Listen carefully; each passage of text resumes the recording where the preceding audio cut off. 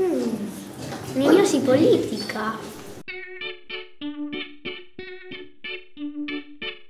Eh, son unos señores que se pelean por gobernar. La gente les vota y gobiernan España. En España, ahora en estos momentos, hay cuatro partidos diligentes.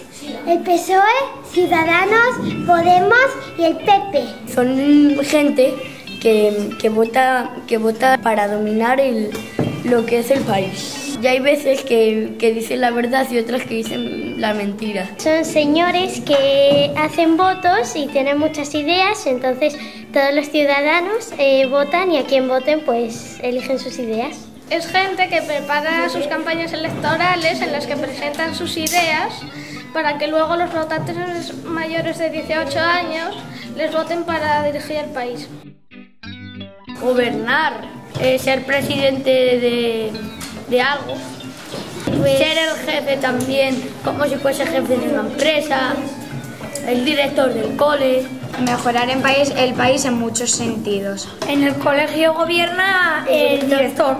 En mi casa gobierna mi madre y mi padre. Gobiernan para que estemos bien y, y tengamos un hogar. Dinero, comida, familia, Felicidad. mascotas. Gobernar consiste en poner leyes para que todo esté en orden y también aportar ideas para mejorar la ciudad. Y que esas ideas sean justas para todos.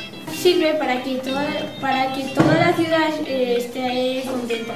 ¿Por qué protestan tanto los políticos? Protestan tanto porque quieren gobernar y no les gusta que, que haya más gente que también quiera gobernar y que les interponga el paso.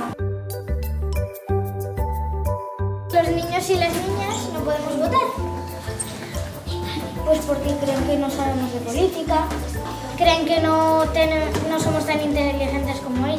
somos inf- inferiores que ellos, que si votamos, votamos al tuntún. No nos dejan votar porque creen que no somos lo suficiente maduros. Y porque no creen que podemos hacer nada por nosotros solos, entonces no nos dejan votar.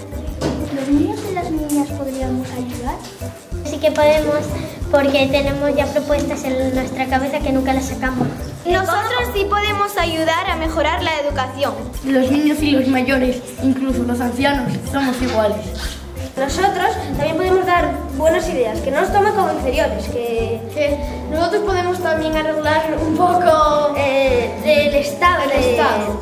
Un niño puede dar ideas que igual a un adulto no, ni se le llega a ocurrir y puede haber grandes, grandes cambios. Los niños necesitan también pues hablar de los problemas que hay en Oviedo y necesitan más espacio. Los políticos se pueden reunir durante un día con los niños porque así eh, podemos demostrar nuestra parte de ver en la vida que nunca habían tenido. no gobernar nosotros, pero pues ayudar a los políticos porque, por ejemplo, los políticos no saben lo que queremos los niños.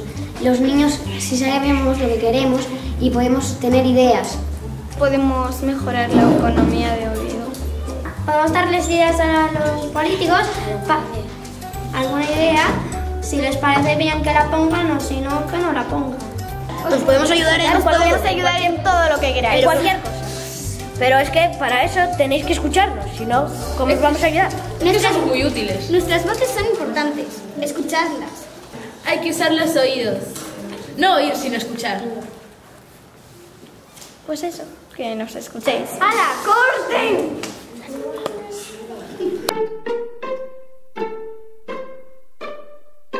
Los niños y las niñas podemos ayudar a que los políticos adultos mejoren Oviedo ya. Hacernos casos, que no somos payasos. Podemos dar ideas aunque tú no lo veas.